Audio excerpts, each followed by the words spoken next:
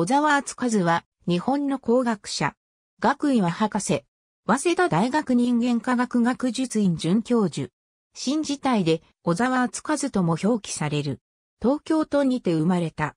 その後、宮城県に転居し、仙台市、塩釜市、多賀城市などで過ごした。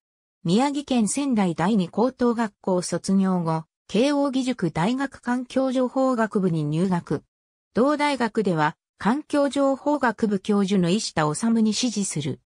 慶応義塾大学を卒業すると、北陸先端科学技術大学院大学の大学院知識科学研究科研究課長だった野中育次郎への憧れから、北陸先端科学技術大学院大学の知識科学研究科に進学。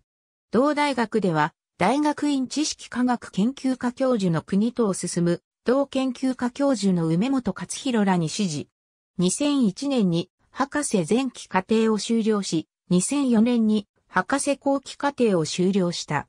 取得した学位は、それぞれ学士、修士、博士の3つとなる。大学院修了後、早稲田大学に採用され、人間総合研究センターの助手として1年間勤務した。次に、安田女子短期大学に転じ、保育科の講師に就任し、1年間勤務した。その後、大分大学に採用され、高等教育開発センターの講師として勤務した。翌年10月には、准教授に承認した。その後、2010年より、早稲田大学に戻り、人間科学学術院の准教授として勤務している。また、非常勤での職務としては、東京工科大学メディア学部演習講師、静岡県立大学経営情報学部講師、早稲田大学人間科学部講師などを務めた。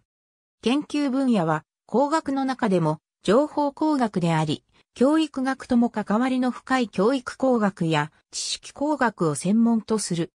もともとはグループ学習や協調学習などに関心を持ったことから、教育工学や知識工学の分野を専門とするようになったという。在籍していた大分大学が2007年により e ラーニングと通常の講義を組み合わせた科目を本格導入したことから、小沢は双方向性を活かした授業スタイルに力を入れた。